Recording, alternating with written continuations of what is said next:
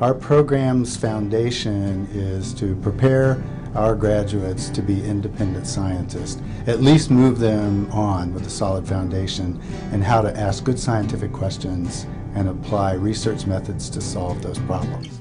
So I was a chemistry undergrad major and going through all of that, the expectation was kind of that I would be doing a chemistry graduate work.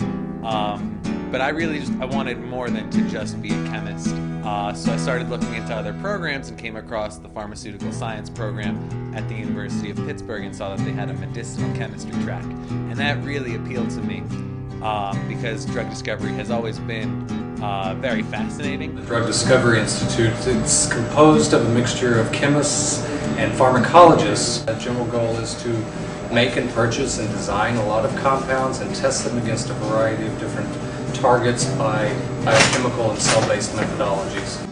I was a chemistry major in undergrad, and as a senior, we had to take a special topics in chemistry course, and the topic was pharmaceutical science, specifically pharmaceutical chemistry. It really appealed to me because I felt like it was using my chemistry but applying it to a more health background, applying it to something that would directly um, have to do with patients and people.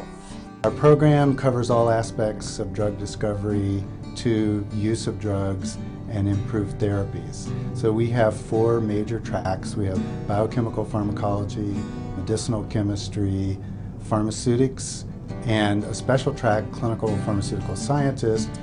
Uh, the other appeal to, to this program, as opposed to just a chemistry program, is is the uh, career opportunities you have in the pharmaceutical science, as opposed to just organic chemistry.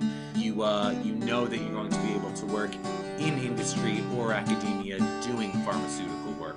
I had the opportunity to come to the Gear Up program that they have here for potential students, and there I met a lot of different professors and a lot of current grad students and they expressed to me what their research was and it sounded so interesting.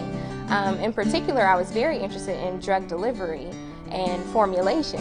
So I decided to come to the University of Pittsburgh a year later and I'm in a, a drug delivery lab.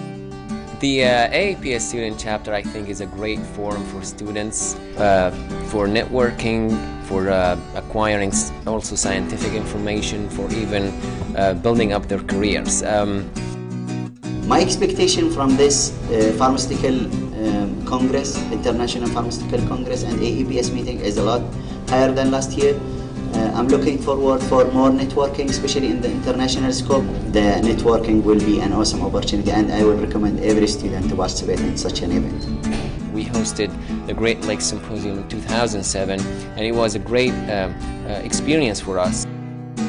At the University of Pittsburgh, we arrange social events. It's, it includes students and faculties, uh, which is also, um, I think, a great benefit of the uh, AAPS chapter. I love the city of Pittsburgh. You know, uh, we are a city of champions. We got the, the Steelers, um, the Penguins, and most importantly, the Pittsburgh Pirates A beautiful city with three rivers.